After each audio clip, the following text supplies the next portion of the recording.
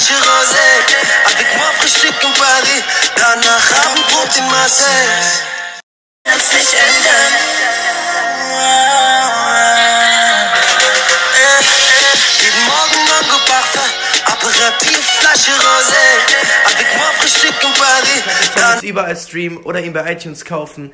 Déjà Vu Remix featuring Joni. Wir hatten eine mega, mega geile Zeit in LA. Um 15 Uhr kommt das Video. Nicht verpassen. Yeah, yeah, yeah.